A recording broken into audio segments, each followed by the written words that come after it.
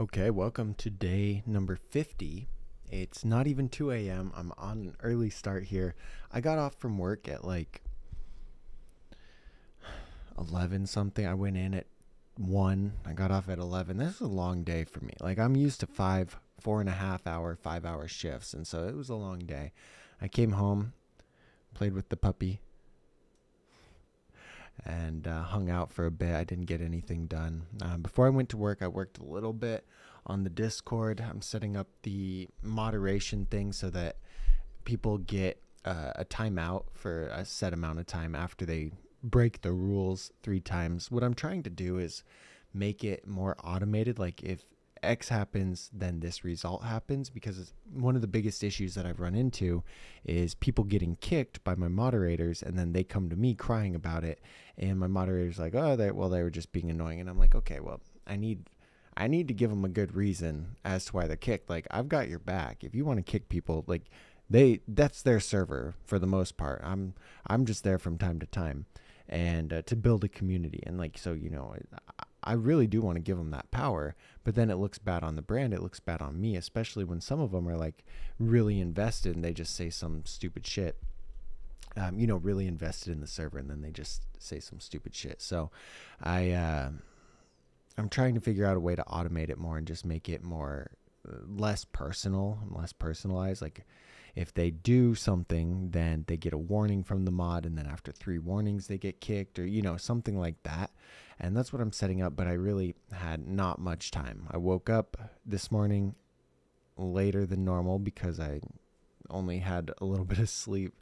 And Joey, the dog, and I walked to the gas station to get some energy drinks. And we came back, and then I read a little bit of my book, um, the Pat Flynn book, and then then I sat down and worked on the Discord while I ate. My food's still here.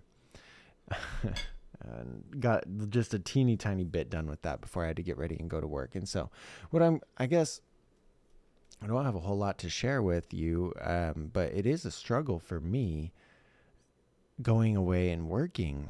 Um, like, all I do when I'm at work is think about all the other things that I should be doing or wish I could be doing with building the brand. Like I need to edit last week's shorts and after I edited all the shorts yesterday, I'm pretty excited to edit last week's shorts and try and make some good engaging shorts that can draw people into that other progression video. I need to start editing the next Friday video. I need to get like I am so behind on stuff and Monday I'll be able to you know, sit down and catch up on all that. Hopefully, like if it's a good day and there's no distractions and no bullshit that I have to deal with, I can sit down and kind of line everything out, um, figure out what I'm going to do, my budget in a sense for uh, blog post writing and all of that stuff over the next week. I didn't really assign any blog posts, so I need to get with uh, the blog post guy and check in on that. Like, it, it's hard when I spend what is it? It's only it was 10, 11 hours at work. Like, that's okay. Most people work that. I mean, most people who make a living work that four or five times a week. And so for me, I just have a hard time spending anything more than 25 hours a week on my stuff. And I'm at, I'm over 25 right now. I'll be close to 30 after my shift tomorrow. And that's like, that's okay, but it does stress me out. It stresses me out so much because I have all these things that I want to do. And when I spend it at work, I'm just, I'm directly trading my time for money. And it's, it's, it's like, God damn it. It, oh, it, it drives me crazy because, you know, while I wasn't at work or while I was at work, I made uh, some affiliate commission. You know, I made some YouTube ad revenue. I could be at work and trade my time for money while that money came in. Like maybe it was only a hundred bucks altogether um, with the affiliate revenue and the YouTube ad revenue, but for not doing anything, I mean, not doing anything in the moment, I'm pretty happy with that. You know, I made 48.19 on the affiliate stuff and that's always a good day because I made probably a couple hundred in tips tonight working and so it's way more but I was there for 10 hours and I couldn't do anything else. I like when I'm able to make a little bit of money from the affiliate stuff, pay the bills and keep working on more to grow that base and to grow the more content and more more income. Um, so I get really frustrated when I'm at work, but I also know that by trading my time for money at work, I'm able to afford uh, people who can consistently move the brand forward. Like Not this week. I'm behind this week. I'm slacking. Last week, I could uh, confidently go to work and know that somebody is editing videos for me right now. And like, no matter what, if I worked all seven days, I would still have videos going out that are building the bottom line. And I'm net positive because whatever I'm working on, or like whatever I make whatever I make working that I can spend on the videos, I still have enough to pay the bills. I still have enough to like, you know, put more into whatever I need to put into. It's pretty tight. I'm operating on real tight margins. If I my car broke down, I'd be fucked. But we're getting videos out, you know, that's all that matters. So, anyway, I like being able to feel that way, like where I'm like, hey, you know, I'm stressed, I'm working, but the ball's moving forward. Things are getting done because I was able to sit down and delegate those things out and, and be on top of my shit. And this week I don't feel that way because like I, there are not videos getting getting edited right now. Like things are not happening. And so when I'm trading my time for money, all I'm thinking about is finishing up this Discord so I can start pushing people to get the memberships and start integrating the system with the YouTube channel members and the Discord members and like put it all together so that I can try and get that into a better uh, revenue stream.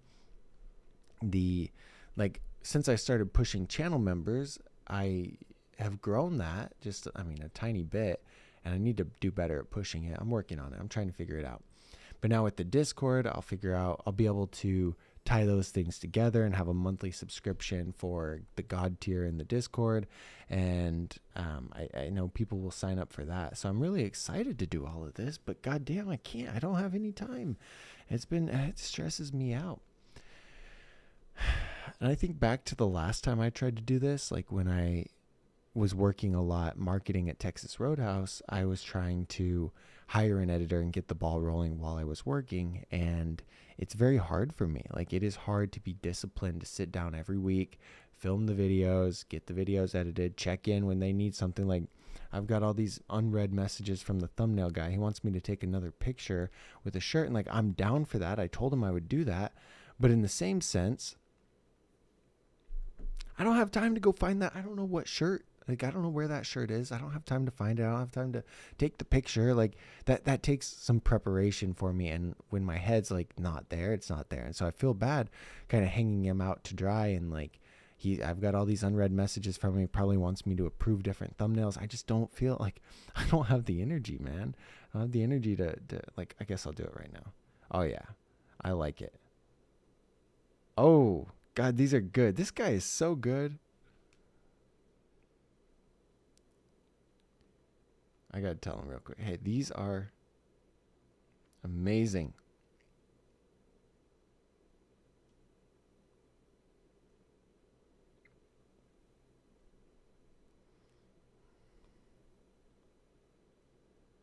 Hold on. Sorry, I gotta. T- I'm telling him I've been really busy. I have been really busy these last few days. Um, but I told him they're amazing. Like this guy, I love working with him. I'm very. I th- first, I'll tell you. Hold on, I'll tell you a story about it in a minute really busy these last few days.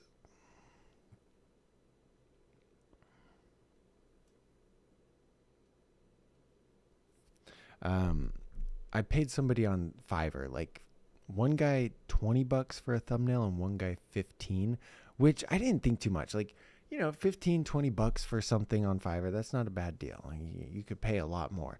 So I was like, yeah, that's cool. That's a good deal. And then I got the thumbnails back and I was like, these are dope. The thumbnails I make look like sh- they're terrible. Okay. They're just, I mean, they're fine, but they're terrible compared to some of this. And so it's like, I was like, wow, this is crazy. I think if I had these good thumbnails on my channel, uh, things could be different. And I don't think that that's fully true, but I think it does have an impact. Like click through rate, but if they're clicking through to a shitty video, it doesn't matter. And so I, I need to do better on my end making better videos now that I got good thumbnails. But anyway, I paid for the $20 and the $15 thumbnail, got them back, and I was like, this is sick. But then I was like, wait, I'm paying my video editor like 20 bucks uh, per video. So now I just doubled that if I keep doing that with thumbnails. So now I'm spending, you know, go from $80 a week to 160 to 200 dollars a week which is 800 a month. I cannot afford that. Like i'm like no no no. So i tried to you know tried to negotiate with them like hey i've got three to five different videos that i need thumbnails for every single week. Like i can promise you that much content that much flow but i can't do 20 like can you cut me a deal? Like what about just a flat $40 a week, just paid every week. Don't worry about it. Some days, some weeks it's three, some weeks it's five. And one was like, no, or, like, I'll do 15. And I'm like, fuck, that's still way too much. And one was like, yeah, I'll go 10. And I'm like, I really want, like, just like let's do a deal it works in your best interest on some weeks. Like this week i would have still paid them even if i didn't need thumbnails. You know what i mean?